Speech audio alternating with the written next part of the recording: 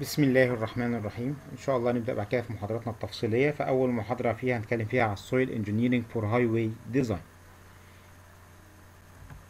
إحنا عارفين إن ال pavement بيتكون من materials مختلفة وخصائص هذه المواد بتؤثر بالتأكيد في الانتر في خواص ال pavement بتاعنا.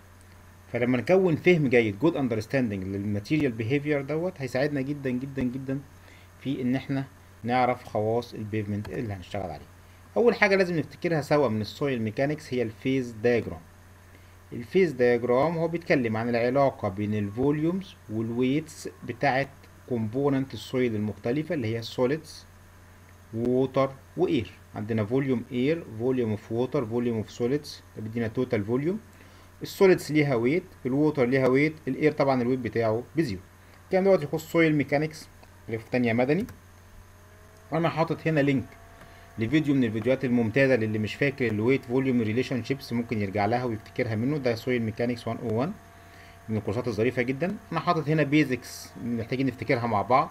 محتاجين كلنا نبقى عارفين يعني إيه water content و water content هي ال mass of water divided by ال mass of solids multiply by 100 دي نقطة مهمة. ما ينفعش يبقى معاك عينة soil وتقول لي ما أعرفش يعني إيه water content ما ينفعش لو أسألك تجيب ال water content العينه soil إزاي تقول ما أعرفش. هناخد العينة لو عندنا أي عينة مية هناخدها هنوزنها وهي في حالتها الرطبة ثم هنحطها في الفرن ونطلع نوزنها تاني. الفرق بين الوزن الجاف والوزن الرطب هو مح... هو وزن المية والمتبقي هو وزن ال solids. فإذا وزن المية على وزن ال solids هو ال water content بتاعنا.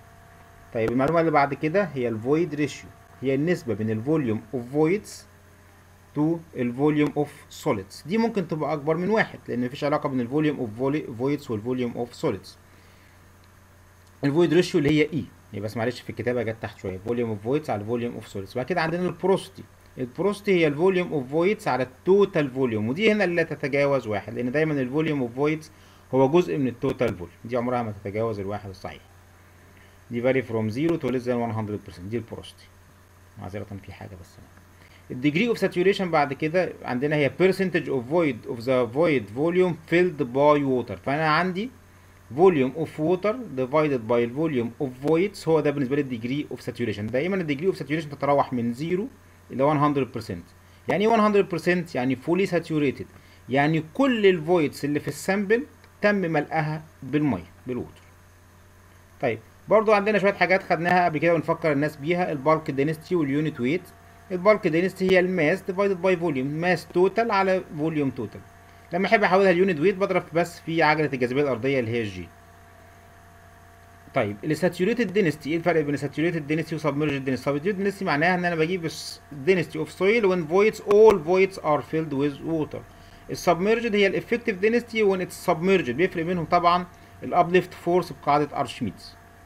ال dry density ده لو أنا عندي ال total ال material بتاعتي dry sample فال W water ب zero فتصبح ال dry بتاعتي ال density في هذه الحالة نطلق عليها dry density.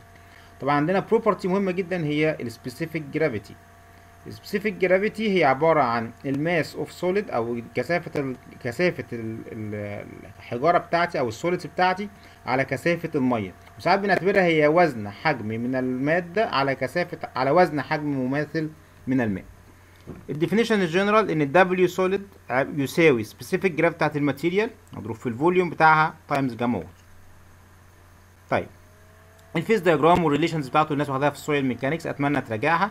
عندنا rule مهمة جدا جدا بنستعملها كتير قوي في شغل الطرق إلا وهي ال relation بين ال dry weight وال wet weight إن ال gamma dry عبارة عن ال gamma wet على واحد plus ال water content وهو لو ال water content 5% بنعوض عنه هنا point O 5 افتكر كده دايما.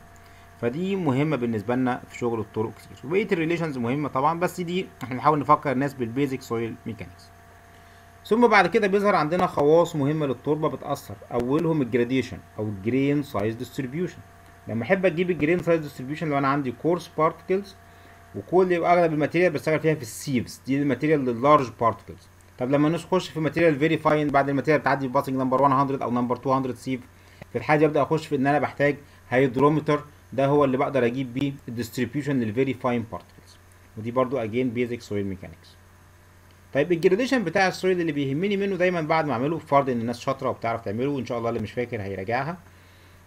ال gradation بيطلع لي على ال X axis ال sieve size وعلى ال Y axis ال percentage passing من أي مقاس بالنسبة لي. يعني لو دخلنا هنا عند 60% دخلنا قطعنا المنحنيات بتاعتنا منحنى الأزرق على سبيل المثال هنزل هنا عند sieve around 5 ملم ده معناه إن 60% من ال material مرت من منخل لمقاسه حوالي 5 ملم طيب إيه الأشكال المختلفة اللي ممكن تطلع لي وده اللي بيهمني؟ لما ارسم العلاقة اللي بينهم. لما باجي أرسم أول حاجة حاجة اسمها عندي uniform gradation بص الخط هنا تلاقي إن كل ال material واقعة في مقاس واحد هي almost one size طيب الشيب التاني إنها تبقى dense إنها تبقى متوزعة. عندي كل المقاسات اللي هو ال blue line اللي موجود هنا بيبقى عندي ال size ال aggregate بتاعتي متوزع على مقاسات مختلفة.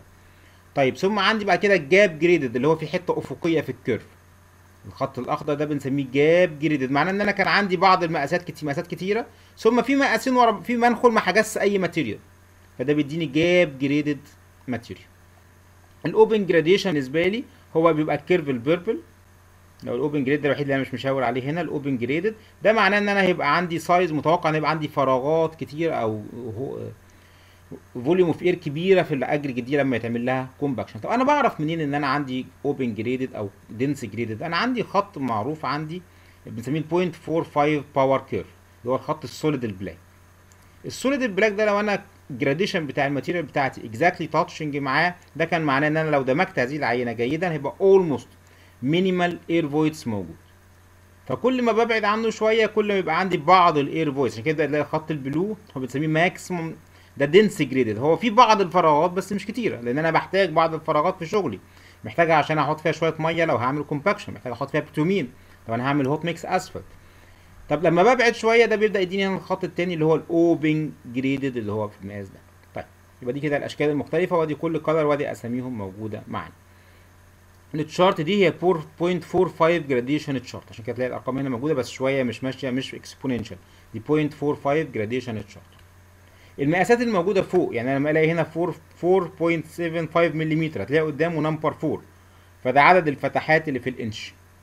وهكذا هتلاقي المقاسات بتاعته. 9.5 ملم ده هنا ده مش عدد الفتحات ده 3 over 8 انش طب المنخل اللي هو number 200 اللي هو فيه 200 فتحة في الإنش ده هنا بيبقى عندي المقاس بتاعه 0.075 ملم ال 2.36 وال 4.75 ملم دول مهمين لأن هم دول احدهما هو اللي بيفصل بين ال coarse وال fine طبقا لل procedure اللي بنشتغل بيها في ال design. بعض الطرق بتفصل بين ال coarse وال fine aggregate على 4.75 ملم وبعض الطرق هتفصل بينهم على 2.36 ملم ال 0.075 ملم هو الفاصل ما بين ال fine material وال dust أو ال material الناعمة جدا اللي نشتغل بيها في حاجة ثانية طيب برضو عندنا بعد كده مجموعة خواص بتهمنا بس هنقف عنها ونشوفها في المحاضرة اللي جاية إن شاء الله اللي هي ال Atterberg